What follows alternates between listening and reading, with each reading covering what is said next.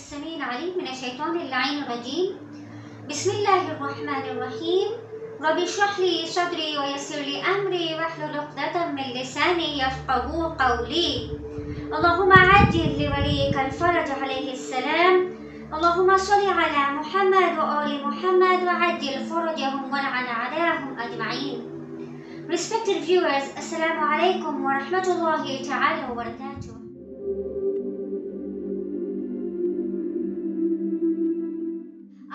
Praying for the hasty reappearance of Imam al-Hujjah alayhi wassalam, who will come and who should come to quickly avenge the bloodshed and quickly avenge the oppression faced by the holy Ahlul Bayt and to quickly restore the sunnah that Allah has prescribed in His holy book that we have explained in our previous clip. We then recite Allahumma wa surra nabiyyika Muhammadan, which verse we were in the hope of continuing inshallah. Allahumma wa surra nabiyyika Muhammadan sallallahu alayhi wa alihi. Oh Allah, please delight your Prophet Muhammad, peace be upon him and his household.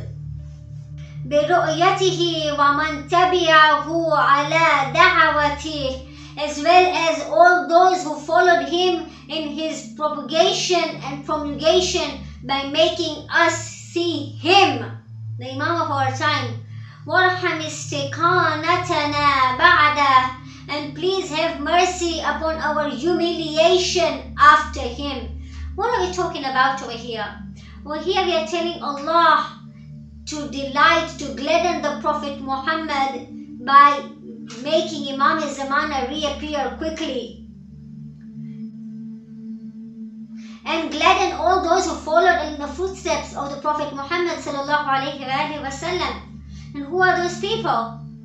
So what we are talking about is when the when the relief shall come, when the bloodshed shall be avenged, when Rasulullah's family's bloodshed when the oppression will be avenged. The Holy Prophet will be gladdened, he will be happy. And even those people, of course, who are sad, who are the azadar, who feel for the pain of the Ahlul Bayt, they also will, of course, be glad. And then we say, Warham istiqanataha ba'da, and please have mercy upon our humiliation after him. What humiliation? What are we talking about over here? It's this humiliation that we cannot do anything. We can only weep. We cannot do anything to relieve the pain of Sayyida Fatima Zahra. We cannot do anything to relieve the anguish faced by the Ahlul Bayt. We can only work hard and prepare to take part in avenging them. And then we recite, Allahumma kshif هذه الأمة عن هذه الأمة بحضورك. Oh Allah, please relieve this community from the current grief through presenting Him. وعجل لنا ظهوره and expedite his advent for us. We are telling Allah there's a lot of zulm going on, Khodaya. There's a lot of oppression. Khodaya, send him quickly. Relieve us, relieve our communities from this pain. Relieve us, help us by sending your Imam, by sending the leader, by sending him to relieve us, by eradicating this evil. And then we say, إِنَّهُمْ يَرَوْنَهُ بَعِيدًا ونراه قريبا Surely they think it to be far off. They, the oppressors, think that it is very far away. They don't even believe in him. But we see it nigh. We see it very near. We see that the current situation is such that any time Imam can come. And that's what I was getting at at that point when I said we will tell you later on. This is the point I wanted to bring you to. That we need to start preparing now because it's, it's already too late. We need to wake up quickly. We need to work fast. We need to do active intizar now from this moment onwards. Let's make up our minds. Let's drop gradually the bad deeds that we are doing and let's purify ourselves for the purified soul. Let's zaki ourselves for let's do our own tazkiyah and nafs for the nafs zakiyah. So that when he comes, we are pure enough at the first call to respond to him.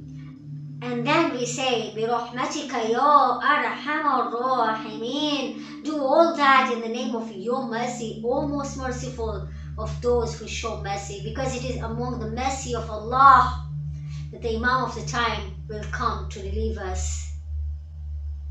This brings us to the last part of Dua Ahad, which is the essence of this dua, whereby we are now actually presenting ourselves to the Imam of our time by being submissive, by submitting ourselves, by leashing ourselves to the Imam, and by renewing, updating, and refreshing our covenant, our ahad, our aqd, our bay'ah to the Imam of the time. And as we do this over this clip, I will request us all to do it together and hoping that we have learned from these clips and we have made up our mind to make a change. We have made up our mind to be active in Tedaris for the Muntazar.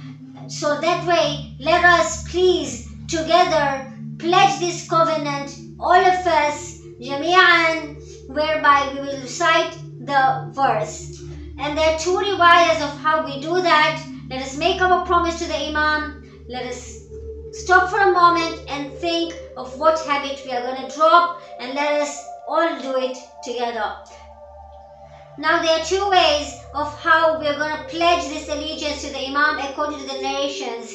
One way is whereby we gently strike our right thigh with our right hand. Now why do we strike our right thigh with our right hand? That is a sign of grief of absence. Usually when we cry, when we weep, we hit our thighs and that is a sign of azadari and so we gently strike our thigh three times in weeping and in pledging our covenants to the Imam of our time. And the other riwayah says that we place our right hand into our left hand like this as making a covenant to the Imam of our time and recite the verse Jami'an.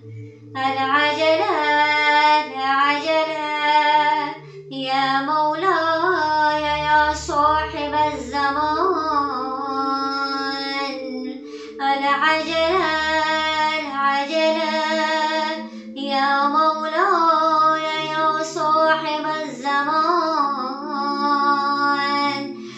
العجلة العجلة يا مولاي يا صاحب الزمان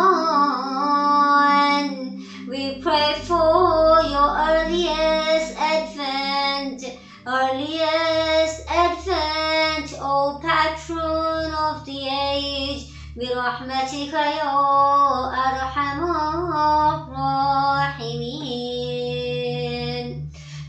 دعوانا عن الحمد لله رب العالمين. والسلام عليكم ورحمة الله وبركاته.